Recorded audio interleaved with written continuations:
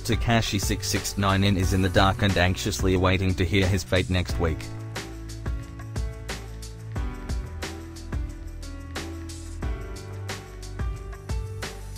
Sources at 69's federal detention facility tell, Tekashi is feeling the pressure ahead of his sentencing hearing on Wednesday, where the court will decide how long he'll be behind bars going forward after cooperating with the feds and snitching his heart out.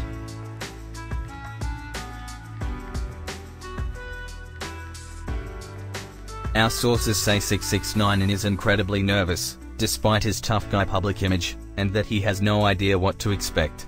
We're told Tekashi knows he's at the mercy of the judge, who can toss him in a cage and throw away the key for a long time if he sees fit.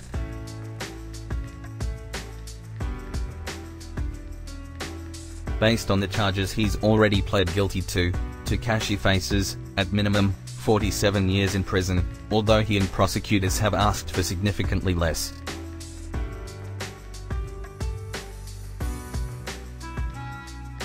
You'll recall, Tekashi submitted a personal letter under his government name, Daniel Hernandez, pleading with the judge to give him a second chance, as he says he's seen the error of his ways and wants to do right by himself, his family and his fans.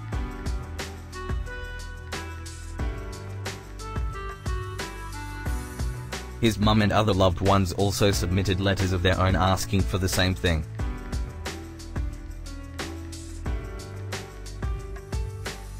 As far as his courtroom look, our sources tell us Tekashi isn't going to be all that fancy or polished. In fact, we're told the guy's probably going to look more like the opposite of that, which means he definitely ain't showing up in a suit.